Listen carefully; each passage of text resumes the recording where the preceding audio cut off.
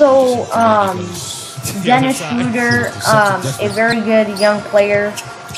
Um, I believe he's been playing for three years. He has injured himself. Oh. Um, oh. I heard that he twisted his ankle, Schröder is in pain and and um, grabbing at his left as you can see, you have the clip up right here.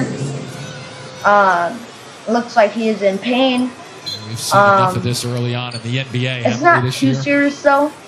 He will be. They said that reports have Give us a quick said that he will be out for a week. There it is. That's a good one. a week too. and a half. When I say good, I Um, so as you can see, he fell wrong.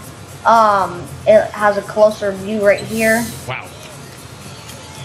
Yeah, he just fell That wrong. Um, nothing too serious. So. Hawks fans, do not worry. Schröder right 25 left Noah Kelly, I know you're a Hawk fan. Don't worry.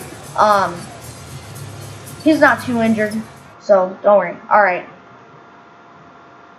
I'll I'll keep you updated on more NBA news, and I am out.